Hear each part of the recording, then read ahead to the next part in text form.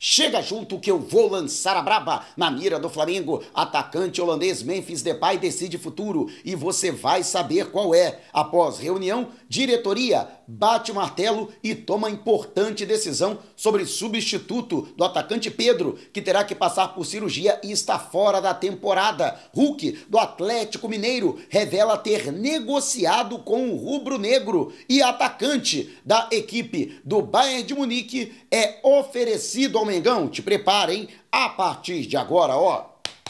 É tudo nosso. Já chega largando o like. Se você ainda não se inscreveu, inscreva-se o botãozinho. Está aqui abaixo. E não esqueça de acionar as notificações para o YouTube no seu smartphone para não perder nenhum de nossos conteúdos. Todos os dias tem vídeos novos com as principais informações e notícias mais quentes do Mengão. E após a apresentação oficial de Alexandro ontem no Ninho do Urubu, hoje tivemos a apresentação do meia argentino Carlos Alcaraz, que inclusive foi muito bem humorado e ele falou coisas muito importante a respeito do Flamengo, enalteceu a importância do Flamengo, a sua decisão de voltar para a América do Sul, no que ele considera o maior clube do continente. E é importante, não né? imagina um argentino falar uma coisa dessas de um clube brasileiro. Se você quiser acompanhar a, na íntegra a apresentação oficial de Carlos Alcaraz está salva aqui na nossa, no nosso canal. Inclusive estaremos segunda-feira também na apresentação oficial do atacante equatoriano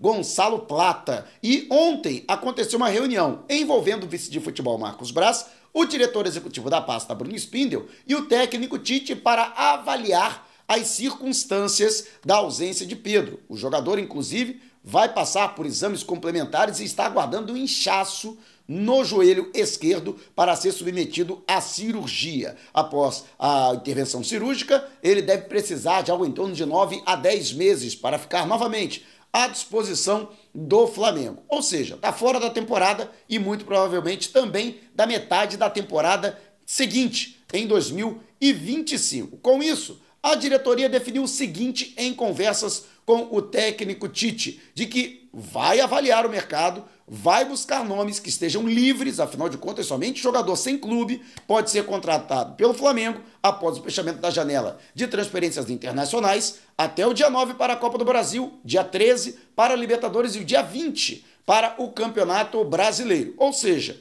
o prazo é curto, mas o Flamengo também não pretende ir ao mercado no desespero. Até porque não vai fazer nenhuma loucura, não vai pagar fortuna de salário para nenhum jogador e diversos atletas têm sido oferecidos é, de maneira é, bastante exacerbada no, nas últimas horas, desde a confirmação da grave lesão do Pedro. Inclusive, vamos falar sobre mais um jogador ou os jogadores que foram oferecidos ao Mengão, por isso que é importante você acompanhar o vídeo até o final sem pular uma etapa sequer. Ou seja, o Flamengo não vai fazer loucuras para repor o elenco para a ausência do Pedro. Inclusive, houve uma avaliação dos atletas que fazem parte do elenco que podem ser alternativas. O centroavante Carlinhos, o atacante Gabriel Barbosa e também Bruno Henrique, que atua como ponta esquerda, mas eventualmente também pode ser utilizado como centroavante. Então, todas essas alternativas, até o Lohan da base, que pode ser utilizado como falso 9.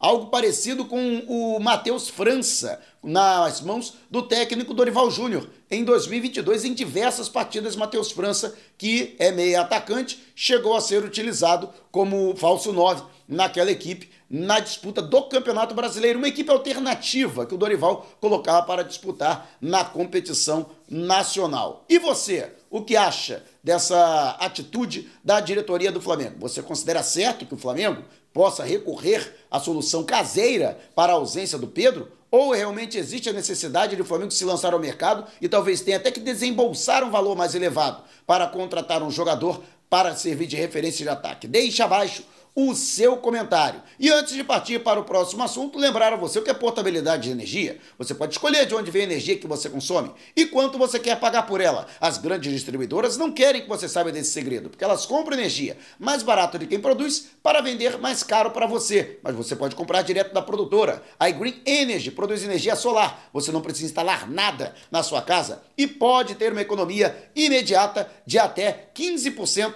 na sua conta de luz, que a gente é obrigado a pagar todo mês. Imagina isso ao longo dos anos ou décadas. Olha o que você está deixando de economizar. Então não perca tempo e não vá dar mole. Vá agora ao comentário fixado ou então mande um zap diretamente ao é, Vitor Almeida, que é o representante autorizado da Green Energy, para saber a disponibilidade dos serviços na sua região e obter um orçamento sem compromisso através do DDD 21 972 99 6633. A Green Energy, energia solar para todos. E o Flamengo Dentro de todas essas situações, ainda surgiu a informação do atacante Hulk, ele que é jogador do Atlético Mineiro. E o jogador revela que em 2021 antes de retornar ao futebol brasileiro, vindo da China, ele procurou o Flamengo, que chegou a abrir negociação com o atleta. No entanto, acabou não havendo acordo. Naquela oportunidade, o rubro-negro havia acabado de adquirir em definitivo os direitos econômicos de Pedro, que havia sido contratado por empréstimo no ano anterior para ser uma alternativa a Gabriel Barbosa sobre a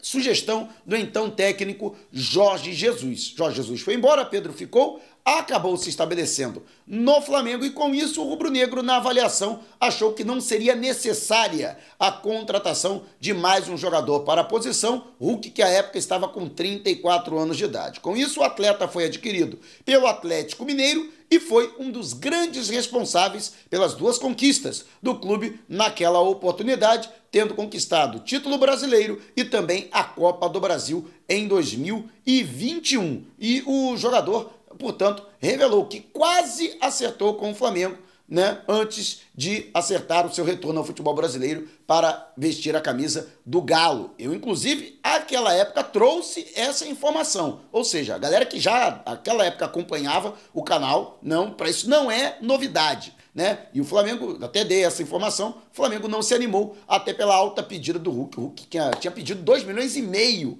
para jogar no Flamengo. Com isso, o Flamengo acabou recusando, portanto, e não deu andamento a essas negociações. Mas e você? O que acha, né? Agora, depois desse tempo todo, para você, o Flamengo acertou em abrir mão do Hulk? Deixe abaixo o seu comentário. E antes de partir para o próximo assunto, você esqueceu, né? Esqueceu que eu sei. Esqueceu de deixar o seu like também de se inscrever. Inscreva-se, não paga nada. E deixe o seu like, seu joinha é muito importante para nossos vídeos e para o crescimento do canal. Lembrando que estamos no WhatsApp. Você que não sai do Zap para nada que eu sei, vá ao comentário fixado, clique no link, entre no canal no Zap, aperte o botão seguir e faça parte do canal Mauro Santana também no Zap Zap. E o atacante camaronês é, é, ele foi oferecido ao Flamengo. Aliás, entre vários outros atacantes, né? A gente pode botar aqui o Uruguai, né? O foi oferecido Gomes, né? Foi oferecido ao Flamengo. Ainda teve a situação do Mariano Dias, também oferecido ao Flamengo. O Gomes é jogador que atuou pelo Cádiz na,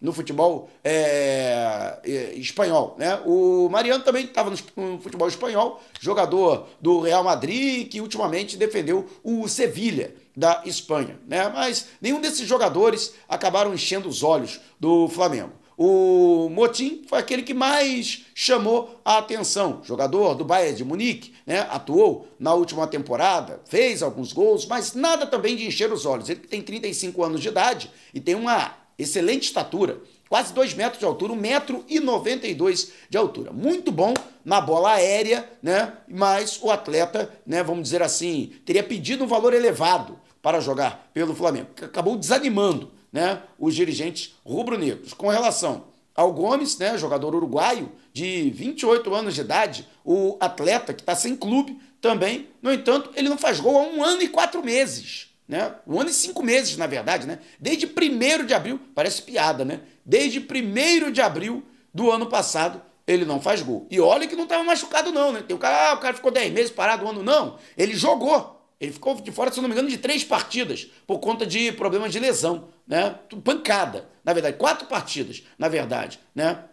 As três últimas partidas da temporada e uma outra partida no meio também, é, por conta de um problema na panturrilha, né? Mas atuou em 33 jogos. 33 jogos e não fez um gol, né?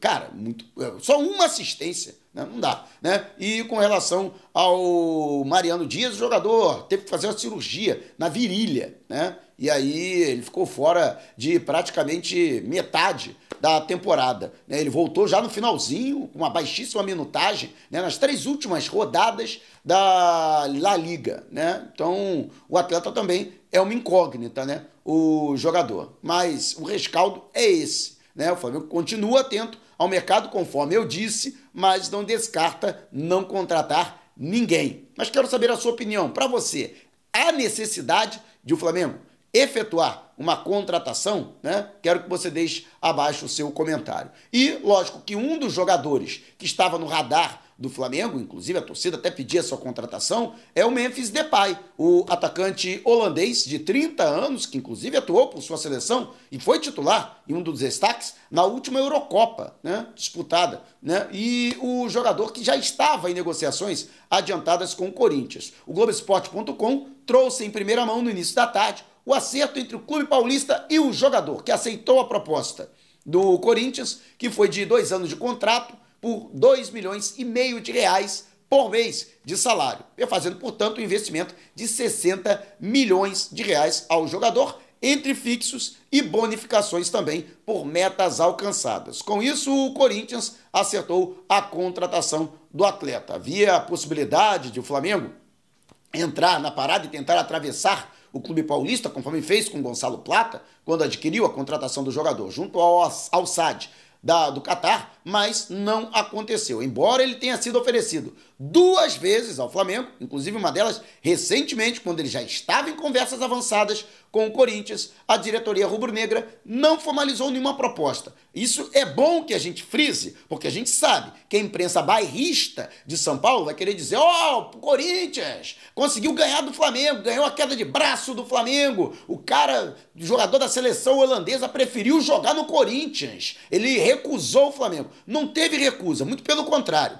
O cara forçou a barra para querer jogar no Flamengo. Flamengo que não se mobilizou para contratá-lo. Você pode até discutir se o Flamengo está errado ou não em não ter entrado na disputa pelo atleta, né, que recusou também proposta do Sevilha, do Raio Valecano, havia um, um, clube da Arábia Saudita e um clube do México também interessados em sua contratação. Mas a verdade é que o Flamengo não fez nenhuma proposta, aliás, não fez proposta a nenhum jogador até o presente momento. A gente sabe que a imprensa europeia, o Fabrício Romano, um outro é, profissional também da, da Europa, né, chegaram a dizer que o Flamengo estaria negociando com o Anthony Martial, né, que é o jogador que atuou na seleção é, francesa e que foi jogador do Manchester United até o dia 30 de junho, mas até agora o Flamengo não formalizou proposta. Lógico que há jogadores oferecidos, há conversas mas proposta efetiva do Flamengo ainda nenhuma. Então que isso fique claro para que depois não venham com bravata para dizer: "Ó, oh, o Corinthians ganhou do Flamengo". Agora eu queria saber, se o Corinthians não tem dinheiro nem para pagar a parcela do Mateuzinho, o Flamengo teve que recorrer ao, a, a Brax, né, para ver a cor do dinheiro, né? De onde que o Corinthians está tirando tanto dinheiro assim para contratar o Memphis Depay? É, rapaz. Eu quero saber a sua opinião, deixe abaixo o seu comentário. Se você quiser saber mais sobre o canal ou propor parcerias, mande o um zap para o número que está aqui na descrição do vídeo. Não saia sem antes deixar o seu like. Gostou do vídeo? Então compartilhe com a galera, mas não vá embora. Tá vendo uma dessas janelas que apareceram? Clique em uma delas e continue acompanhando o nosso canal, combinado? Despertando paixões, movendo multidões. Este é o Mengão.